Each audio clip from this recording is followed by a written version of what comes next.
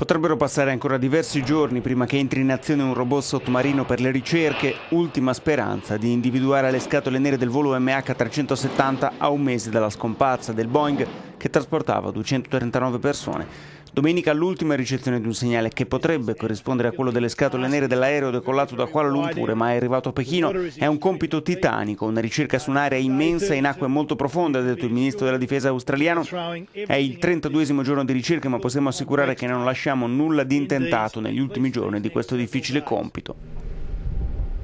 Ultimi giorni. Ancora per poco, infatti, sarà possibile trovare traccia dell'aereo inabissatosi nel sud dell'Oceano Indiano prima che le scatole nere smettano di inviare il loro segnale.